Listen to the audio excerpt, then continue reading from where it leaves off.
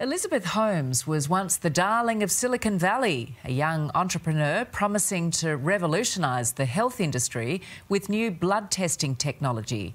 But it was a scam. Today, the Theranos CEO was sentenced to more than 11 years jail, a punishment much harsher than the 18 months home detention her lawyers had pushed for. Elizabeth Holmes was the founder of a multi billion dollar blood testing business who was bleeding investors of cash. Is there anything that you want to say to the uh, investors and the patients who have such faith in you? After smiles and hugs at a Californian court, the entrepreneur, who said they don't put pretty people like me in jail, was told she would serve more than 11 years for defrauding the likes of Rupert Murdoch.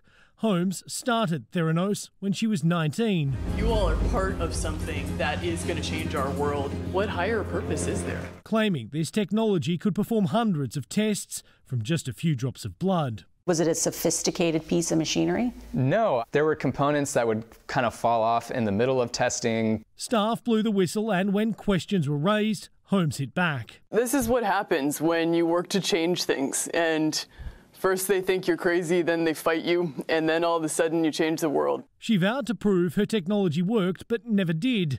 The now 38 year old's rise and fall has grabbed headlines and the attention of TV producers.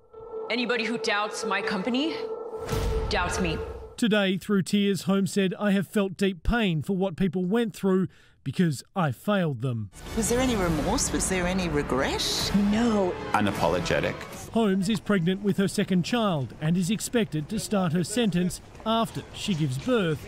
As for the more than $1 billion raised from investors, a judge will decide how much should be paid back. In the United States, Jonathan Kearsley, 9 News.